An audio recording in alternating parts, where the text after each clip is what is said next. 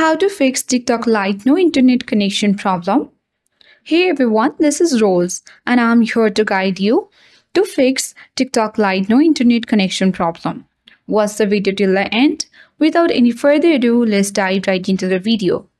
First of all, ensure to have an updated version of TikTok Lite on your device. Once you do that, you need to exit from the Play Store.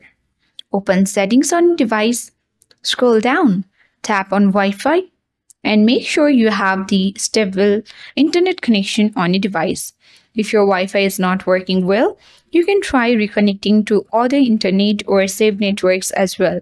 But if your Wi-Fi is not completely working, you can switch between mobile data as well. Once you do that, come back to the same settings page. Tap mobile network. Tap on your SIM card. And once you have done that, tap preferred network type. Here, you need to tap on auto network that is 4G, 3G or 2G which is auto. Once done, come back. Tap on access point names button. Tap three dots at top right corner of the screen. Now tap reset access points option. And once done, come back to the same section of settings. Now tap connection and sharing. Ensure that you have turned on airplane mode for a while and turn it off after 3 or 4 seconds. Once you have done that, you need to check whether your issue has been persist or not. If your issue did not persist, you need to try restarting your device for a while.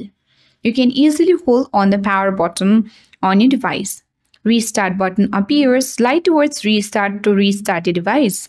Once you restart, you need to try connecting to network again and your issue will be fixed. That is how we fix TikTok Lite no internet connection problem. That's all for today. Hope this video helped you. If you are new to our channel, hit the like button, subscribe for more tech and tips videos. Thank you for watching. See you in the next video.